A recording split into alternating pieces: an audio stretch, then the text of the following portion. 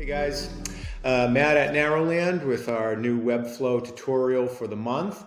Uh, so we've had some questions. How do we create this gentle uh, fade out effect that you see here in our intro section where the cloud just kind of slowly goes to white and uh, disappears. So that's what we're going to uh, duplicate today. And uh, as usual, I have a minimal, simple way to do it where we'll just use uh, some gradients with varying opacity. And let's give this its own identity for the tutorial. So we'll use a mountain in the background instead of um, a cloud. so first thing we're going to do is we're going to add a section and we'll call it full. And as you see here, I've already set it up just to move things along. So we'll have a zero uh, percent margin and 5% padding on the inside just because that's how I like to keep all my content aligned. Uh, you can use different heights, uh, but so that we get kind of a dramatic effect here, let's go with 80 uh, view height. And we are pretty much uh, almost there at that point, if you can believe it. So let's go on down to our backgrounds and we want to click image and gradient. Uh, the first thing we want to do is add our image. So let's drop this transparent mountain that I've prepared in here. Okay, and we want to put it at the bottom. Uh, we want to turn off tiling and let's cover. Looking good. Okay, one step left. So uh, from there, we're going to add a uh, gradient overlay. We don't want black, so let's go with white. Okay, and I like to uh, put that at about 60%. All right, well, let's go with 50 for today. Show a little bit more. Okay.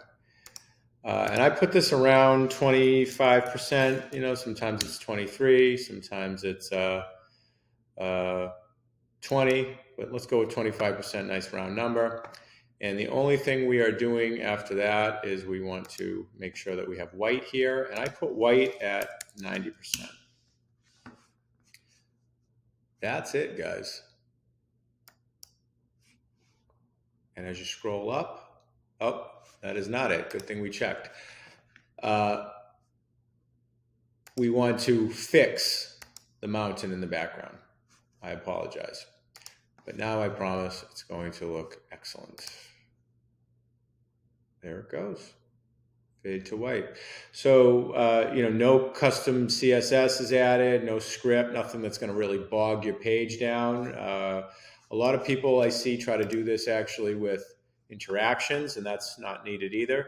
So just a simple scroll and, and the right opacity um, will do the trick translates over to mobile uh, pretty well. So those numbers do tend to still work just fine, but you may want to tweak them a little bit just depending on um, you know how you want everything to look. Like mobile, typically I will actually make the section a little bit smaller so that mountain is just more dramatic and kind of runs across the bottom there. So we could do something like that. Um, and maybe 70 looks a little bit better. That's nice. But um, I'll let you play with that.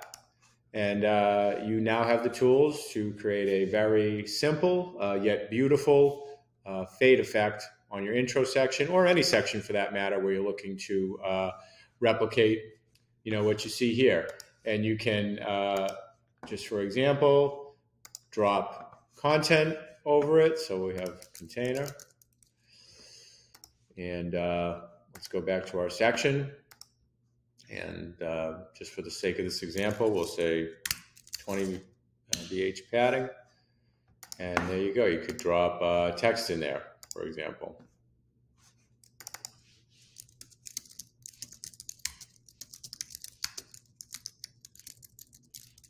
I guess my should be capitalized, right?